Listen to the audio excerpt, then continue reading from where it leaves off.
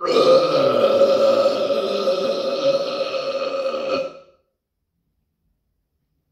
Moin, ich bin's, euer Flatti. Herzlich willkommen zu der dritten Folge Mein Einkauf vom. Heute habe ich nicht viel eingekauft, für insgesamt 8,58 Euro. Und was ich so eingekauft habe, das zeige ich euch jetzt. So, als erstes zwei Brote.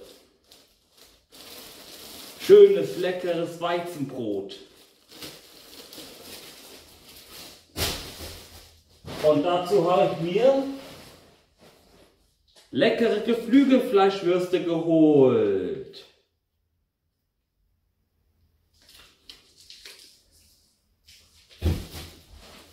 Als nächstes habe ich mir eine leckere Süßigkeit geholt.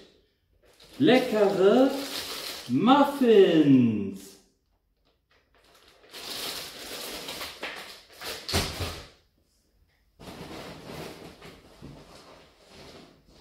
Und als nächstes, damit ich auch mal gesundes Essen futtere, habe ich mir Bananen geholt. Und zum Schluss ich mir noch etwas mit Bananengeschmack geholt. Und zwar zwei Flaschen leckere Müllermilch. So, das war die dritte Folge Mein Einkauf vom. Ich hoffe, euch hat dieses Video gefallen und bis zum nächsten Mal, wenn es wieder heißt, wartet noch.